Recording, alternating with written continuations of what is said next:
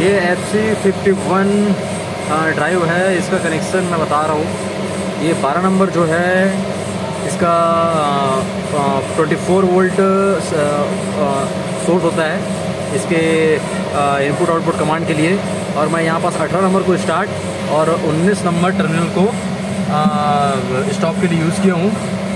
और इसमें मैंने एनालॉग पोर्ट यूज़ किया है मतलब तो पोटेंशियोमीटर यूज़ किया है जिसका मैंने 10, 9 और 8 नंबर का इसका पेरोल नंबर है जो मैंने यहाँ पास फिफ्टी फिफ्टी थ्री और 55 में कनेक्ट किया है जिसमें से 53 नंबर मेरा इनपुट है।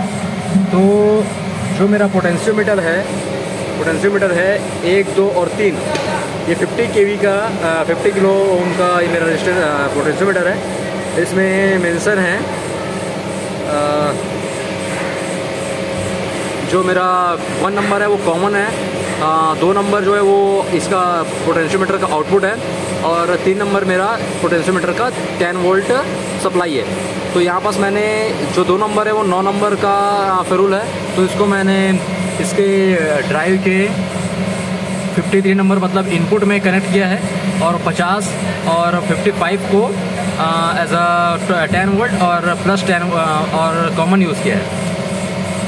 और बाकी इसका अर्थिंग वगैरह सब प्रॉपरली कनेक्टेड है कनेक्शन किया हूँ मैं। और ये सामने का जो केबल है तीन केबल है आरवाईबी ये मेरा इनपुट है।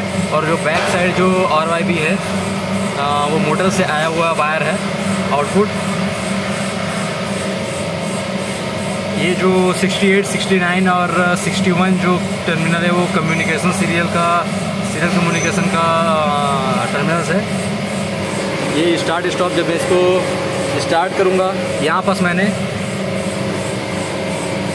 यहाँ मैंने लैच स्टार्ट और इन्वर्स स्टॉप का कमांड के थ्रू इसको मैंने ऑपरेट कर रहा हूँ इस ड्राइव को मैं। क्योंकि मेरे पास यहाँ पास कॉन्टेक्टर नहीं है, कोई ऑक्सिलरी कॉन्टेक्टर या फिर मेन कॉन्टेक्टर नहीं है। तो मैं सीधा इसको डायरेक्टली लैच स्टार्ट से स्टार्ट करूँगा और स्टॉप इन्वर्स के थ्रू इसको मैं ऑफ़ करूँगा। इसके इसके लिए मेरे को आ, कोई भी किसी भी तरह के कॉन्ट्रेक्टर का ज़रूरत नहीं पड़ेगा। मैं इसको जो मेरा जो आउटपुट दिया हूँ और इनपुट दिया हूँ यहाँ बारह अठारह और उन्नीस से वहीं से मैं इसको काम कर सकता हूँ। तो अगर मैं यहाँ से अगर स्टार्ट कमांड प्रेस करता हूँ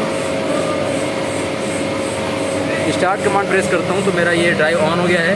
मेरा फुल पोटेंशियल जो है पोटेंशियोमीटर के थ्रू मैंने इसमें फिफ्टी फुल पोटेंशियल में रखा हूँ पोटेंशियोमीटर को धीरे धीरे कम कर रहा हूँ उसको मैं। तो मेरा पोटेंशियोमीटर के थ्रू मेरा ड्राइव भी कम हो रहा धीरे धीरे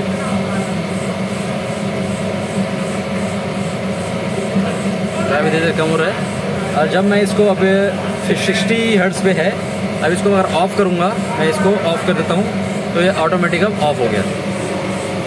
ऑफ़ करने से। तो इसका मतलब मेरा जो आउटपुट इनपुट सही काम कर रहा है, मेरा पोट पोटेंशियल मीटर भी सही काम कर रहा है।